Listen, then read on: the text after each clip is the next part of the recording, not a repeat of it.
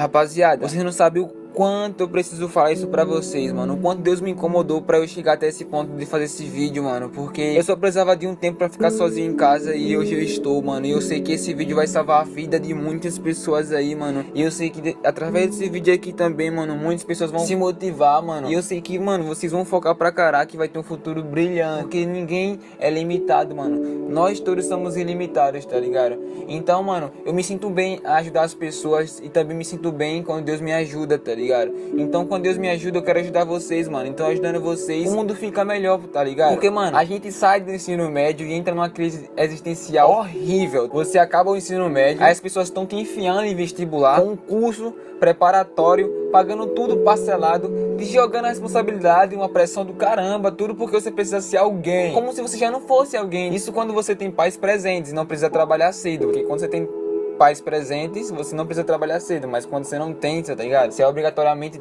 tem que se esforçar para trabalhar mas, cedo. Mas, mano, eles te bombardeiam tanto informação que você nem pensa, só concorda. Colam sua testa em discursos motivacionais doentios do caramba. Eles falam assim, ó.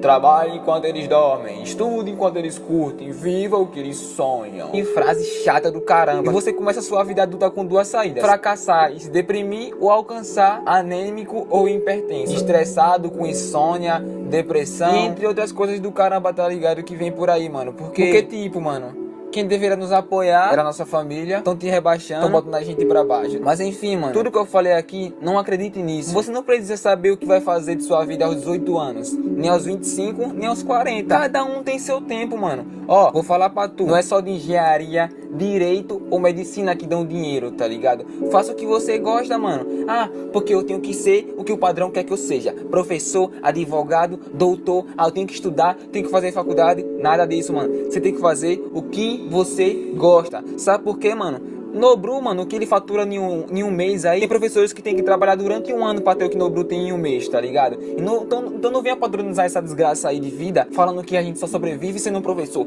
sendo isso e aquilo. Tem que ser o padrão da vida. Não tem que ser o padrão da vida, não, mano. Você tem que trabalhar o que você quer. Você tem que trabalhar fazendo o que você gosta, tá ligado? Sabe por quê? Eu vi uma frase um dia no Google, mano, que eu sempre gosto de debater com as pessoas. Ela falava assim, ó: Somos escravos da nossa própria vida. Essa frase é inútil. Sabe por quê? A gente é escravo da nossa própria vida quando a gente trabalha fazendo o que a gente não gosta, mano. É realmente a gente é um escravo da nossa própria vida. A gente acaba nossos estudos e vai trabalhar o quê? O que a gente não gosta. Vai varrer rua, tá ligado? Tem uns que tem essa chance de varrer rua, ou então vai trabalhar no mercadinho, ou então como pedreiro, vai pra uma empresa trabalhar de ajuda, fazer concurso de um bagulho que você nem gosta, tá ligado? É eletricista só porque dá dinheiro pra caraca, eu vou trabalhar de eletricista.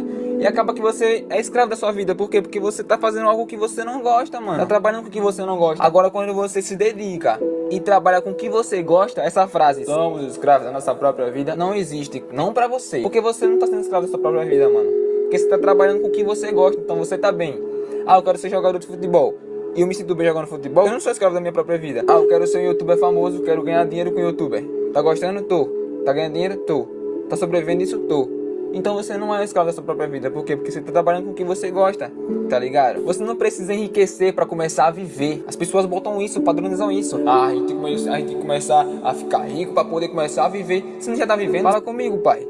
Você nasce e constrói três coisas: nome, lembranças e patrimônio. Não é possível que o sentido da vida seja viver pela única coisa que você não carrega depois da morte, tá ligado? Não viva pra atender expectativas alheias, mano. Não namore o Pedro se você ama a Ana. Não faça medicina se sua vibe é serviço social.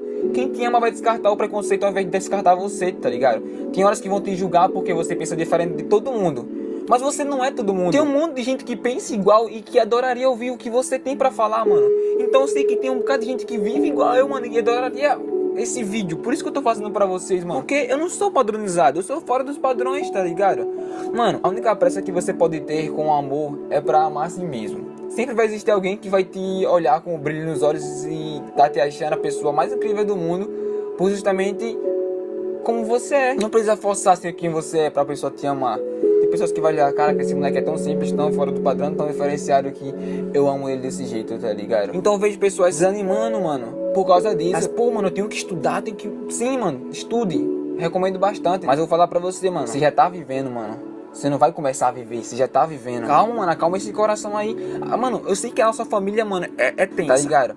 Elas ficam botando a, gente para baixo, tem famílias que botam para baixo, tem famílias que não apoiam, fala que dá desgosto, fala que você é a ovelha negra da família, fala que você tem que trabalhar, que você é um preguiçoso. É isso que, que leva muita gente à depressão, que leva a gente ao suicídio, porque isso vem da família, mano. Vem logo da família. É muito tenso isso. Daqui para falar para vocês que o único apoio que vocês precisam, mano, é o de Deus. E esse apoio vocês já têm. Então mete marcha. Mete marcha no que você quer, mano. Dependendo de qualquer coisa, vai, vai avante, vai avante. Eu não tenho esse negócio de vencer na vida, mano. Porque não vai ter esse momento de vencer na vida. Você acha que quando eu tiver meu canal com 100 mil inscritos, vivendo disso, tenho meu carro, minha moto, minha família, eu venci na vida? Não, mano, vai vir coisas ruins por eu aí. Eu não tenho esse, essa, esse, esse pensamento. Vou vencer na vida, eu consegui vencer na vida. Não, mano. Você só vence na vida quando Deus te leva pro céu. Aí sim você venceu. Chegou aonde muita gente quer chegar. O céu. Lá que eu quero ir. Tá ligado? Ali sim quer vencer na vida, mano. Agora porque você ficou rico, ganhou um carro, uma casa, uma moto, venceu na vida, Nada disso, mano. Se prepara porque quando lá no passado tinha altos e baixos, quando você estiver lá no topo também vai ter altos e baixos, mano. Você, você acha que você vai estar sempre naquela vibe positiva? Ah, família, ah, paz. Não, não, não, nem vem, nem vem. Ao passar do ano, pai, é só coisa ruim que tá pra vir. Quanto mais tá próximo de Jesus voltar, mano, mais coisa ruim tá pra aparecer. Então não vai se iludindo também, mano. E também não vai ficando muito triste porque também a gente não vai viver só lá no baixo. A gente vai viver em altos e baixos. Então você tem que aproveitar pra caraca, mano. Tem que aproveitar seus altos e tem que superar seus baixos. Aproveita seus altos e supera seus baixos. Entendeu? Baixo serve de aprendizado e de motivação e de testemunho para você.